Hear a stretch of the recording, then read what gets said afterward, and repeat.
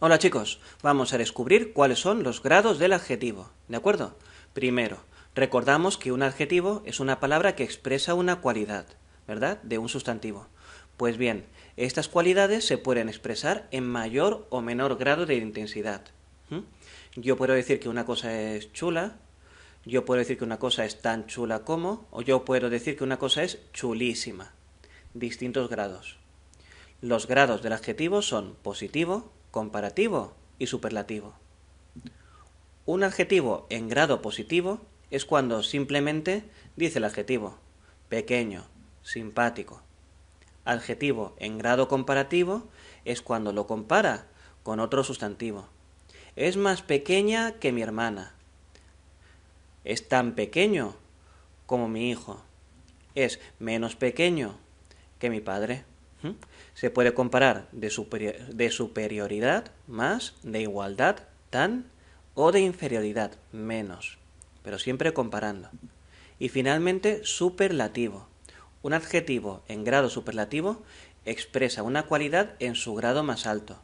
Por ejemplo, es muy pequeño, es pequeñísimo, es súper pequeño, artichi pequeño, ultra pequeño, requete pequeño.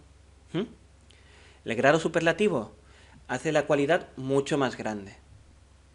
Claro, ¿no? Positivo, simplemente el adjetivo, comparativo, lo compara con otro sustantivo y superlativo, lo hace muy grande. Venga, vamos a practicar un poco. Aquí tenemos un texto. La noche era tan oscura como la boca de un lobo, pero los excursionistas estábamos emocionadísimos de estar allí aunque tuviéramos que dormir en sacos menos cómodos que nuestras camas. ¿Aquí hay algún adjetivo? Sí. La noche era tan oscura como...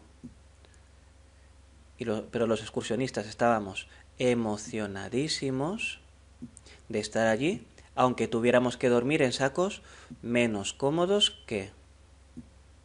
¿Este qué es? ¿Positivo, comparativo o superlativo?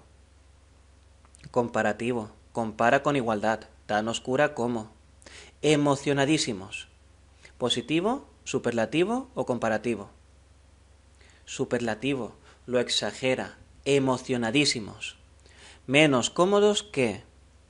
Positivo, comparativo o superlativo. Compara. Menos cómodos que en nuestras camas. Aquí hace una comparación. En medio de la tranquila noche se oyó un ruido. ¿Hay algún adjetivo aquí?